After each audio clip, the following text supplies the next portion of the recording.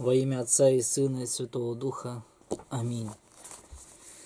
Начитываю брошюру протеерею Виктору Потапова «Молчание предается Богу».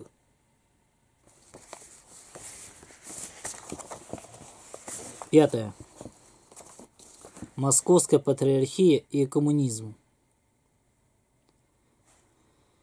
Не называя любовью, но человеконенавистничеством и отпадению от божественной любви, когда кто помогает еретическому заблуждению на еще большую гибель тех, кто держится этого заблуждения. Преподобный Максим Исповедник. В контексте нашего разговора нельзя не коснуться другой чрезвычайно важной темы, которая является камнем преткновения на пути к объединению русской зарубежной церкви и московской патриархии. Это экоммунизм. В культурно-общественном, национальном и международном общении любви и милосердия к пребывающим вне церкви открываются для нас бесконечные горизонты, горизонты братского и полезного сотрудничества. Как было бы своевременно и полезно христианам единым фронтом подняться и возвысить свой голос за возрождение поруганной культуры всего человечества в его лучшем отборе, встать на борьбу со всяким безбожием, во имя защиты права, чести и достоинства духовно разумной личности человека, которая попирается в мире, лежащем возле. Нужно приветствовать отход от вековой разделенности христиан, но только в, то, но, но в том только случае, если это совершается с целью раскрытия сокровищ православия и для возврата отпавших от церкви к единству в православии. Именно с этой целью еще до революции 1917 года Русская Православная Церковь вела активный диалог и с англиканами, и со старокатоликами. В эмиграции иерархии и богословы Русской зарубежной церкви продолжили эти дискуссии и даже участвовали в качестве наблюдателей на некоторых экоммунических формулах. Отношение заграничной церкви к коммунизму всегда носило трезвый, строго православный характер, в соответствии со святоотеческим учением. Ее взгляд был с, с особой определенностью высказан при назначении 31 декабря 1931 года своего представителя в Комитет продолжения Всемирной конференции о вере и порядке. Кавычки открыты. Сохраняя веру в единую, святую, соборную и апостольскую церковь, архиерейский синод исповедует, что церковь сия никогда не разделялась. Вопрос в том только, кто принадлежит к ней и кто не принадлежит. Вместе с тем архиерейский синод горячо приветствует – все попытки инославных исповеданий изучить Христово учение о церкви в надежде, что через такое изучение, особенно при участии представителей Святой Православной Церкви, они в конце концов придут к убеждению в том, что Православная Церковь, будучи столпом и утверждением истины, 1 Тимофея 3,15, полностью без, без каких-либо погрешностей сохранила учение, преподанное Христом Спасителем, своим ученикам – с этой верой и такой надеждой архиерейский синод с благодарностью принимает приглашение Комитета продолжения Всемирной кон конференции о вере и порядке. Кавычки закрыты. Цитата по скорбному посланию митрополита Филарета Вознесенского. 14 по 27 июля 1969 года. Православная Русь, номер 15. Жордавиль, Нью-Йорк 1969 года. Такова была неизменная, многолетняя позиция русской зарубежной церкви по отношению к коммунистическому движению. Но с 1962 года, то есть с момента, когда в эту организацию вступила Московская Патриархия, заявления, издававшиеся Всемирным Советом Церквей ВСЦ, приняли настолько радикально левый богословский тон и наполнились столь прокоммунистическим содержанием, что дальнейшее присутствие на этих межконфессиональных форумах зарубежной русской церкви стало невозможным.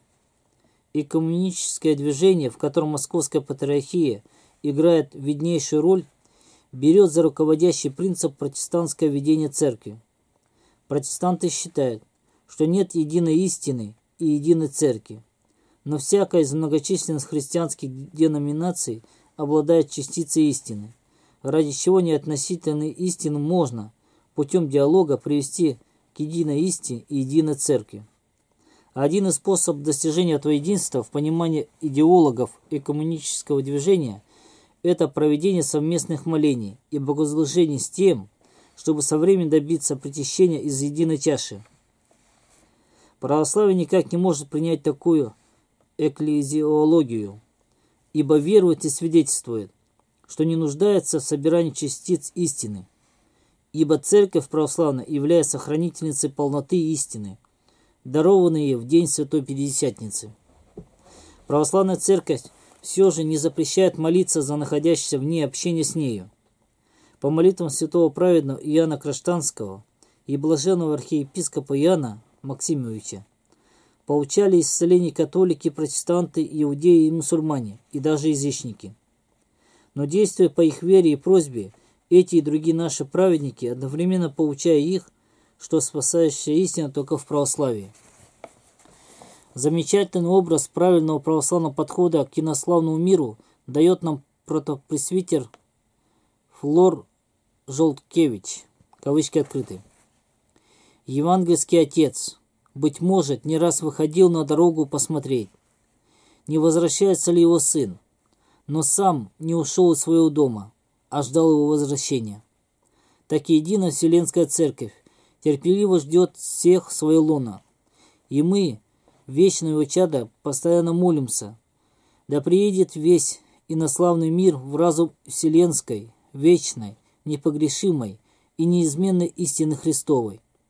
И да идти с нами славят пречистое, великолепное имя от, в Троице, славимому, славимому Бога. Кавычки закрыты. Скобка. Православная Русь, православие и коммунизм. Джорнзавиль, Нью-Йорк, номер 16, страница 4. Для православных совместной молитвы и причащения на литургии является выражением уже существующего единства в пределах свят... единой, святой, соборной и апостольской церкви. Святой Ириней, Ириней Леонский, II век, лаконично сформулировал это так. Наша вера находится в согласовании с Евхаристией, и Евхаристия подтверждает нашу веру.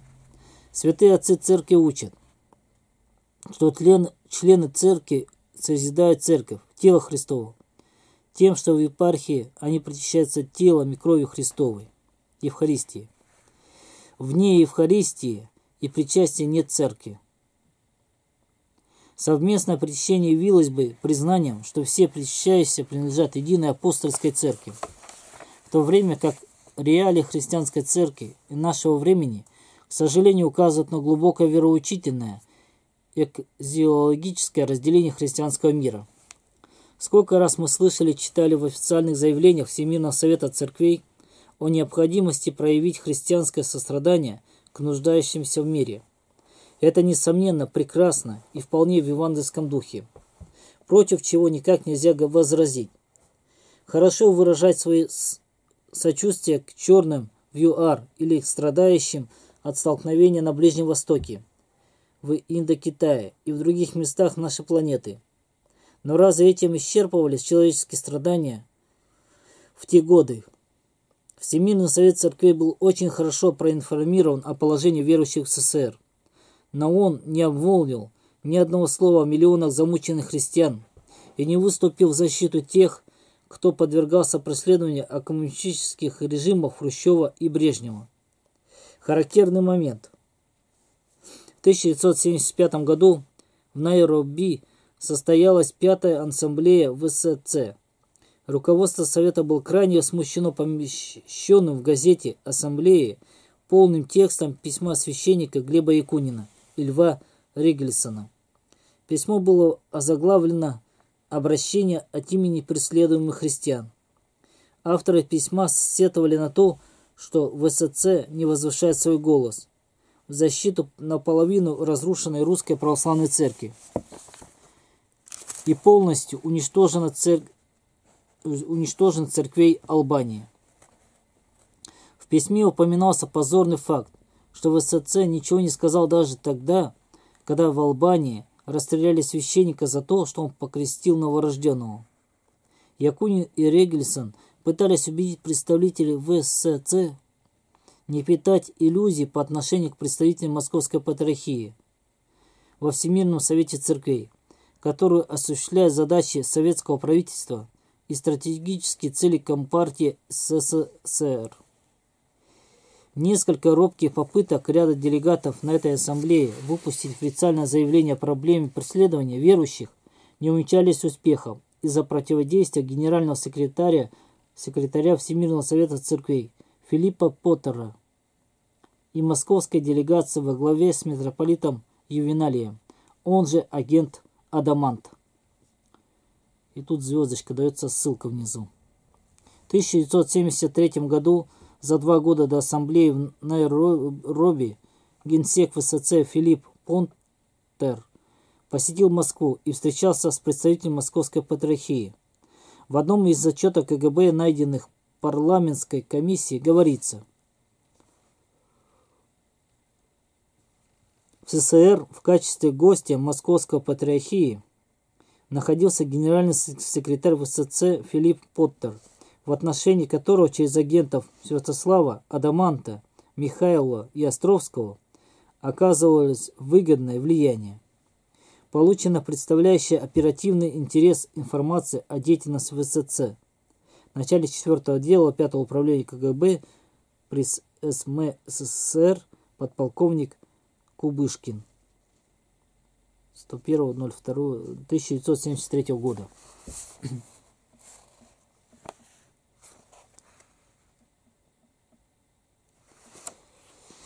Кавычки закрыты.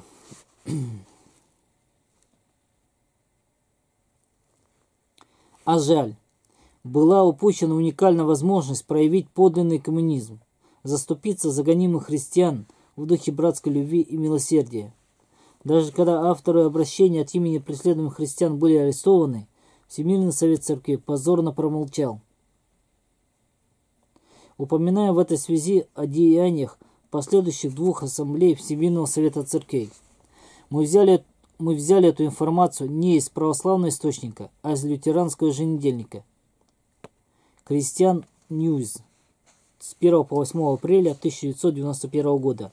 В журнале опубликован отчет лютеранского богослова Джона Милхейма об этой экуменической встрече, которая раскрывает духовное банкротство ВСЦ.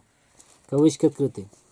Когда гости и делегаты седьмой ассамблеи ВСЦ собрались под большим шатром для молитвы, вечером в день открытия, как их приветствовали мужчины-аборигены танцем, короборы, праздничным танцем, исполняющимся при праздновании племенных побед и подобных событий.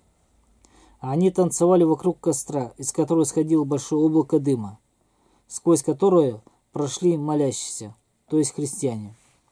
их, в скобках, собравшихся молящимся, было сказано, что таким образом, проходя сквозь это очищение облака дыма, духовность аборигенов соединилась с христианской духовностью, выделена автором статьи.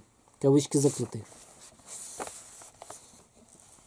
Далее в своем отчете Джон Милхейм напоминает, что подобного рода языческое откры открытие коммунистического собрания было на шестой ассамблее ВСЦ в Ванкувере, Канада, в 1983 году. Кавычки открыты.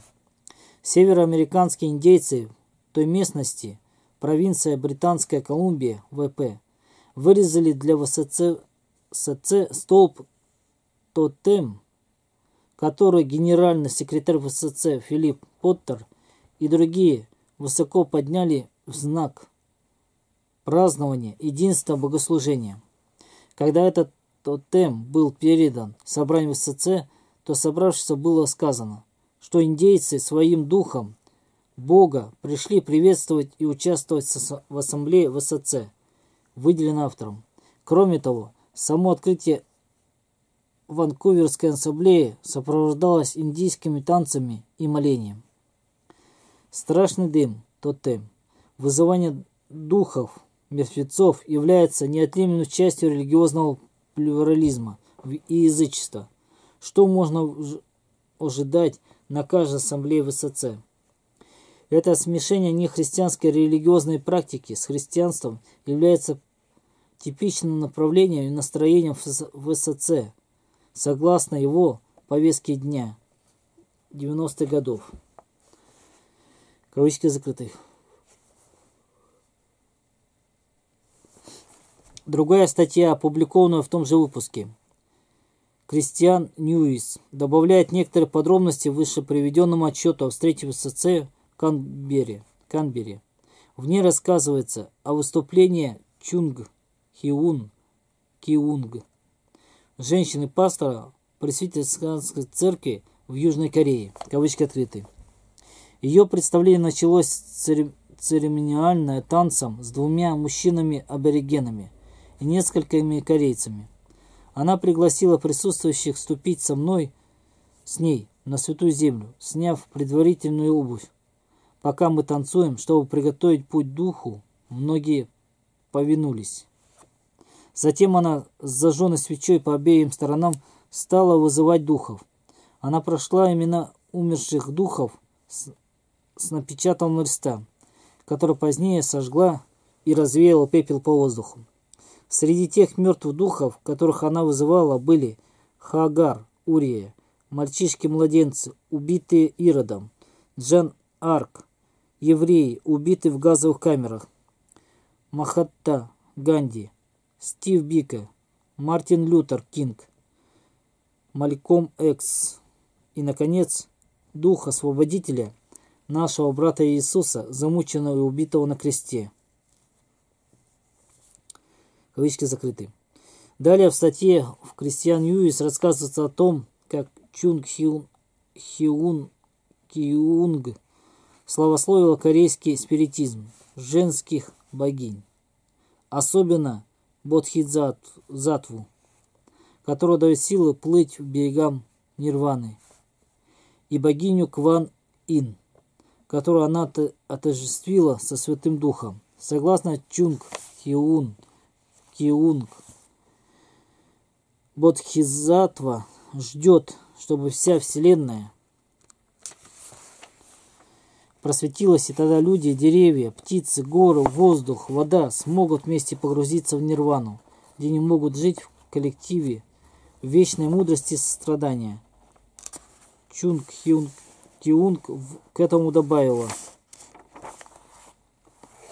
Автор статьи в заключении пишет, что Хунг Хиунг Киунг закончила свое выступление на ассамблее ВСЦ еще одним танцем с аборигеном, но ради приличия автор не стал описывать этот танец. Таким образом, представители современного коммунистического движения не только не способствуют единству, но усугубляют разделение христианского мира. Они зовут эти не узким путем спасения в исповедании единой истины, а широким путем объединения с исповедующими разнообразные заблуждения, о которых святой апостол Петр сказал, что через них путь истины будет в поношении. 2 Петра 2 глава с 1 по 2 стих.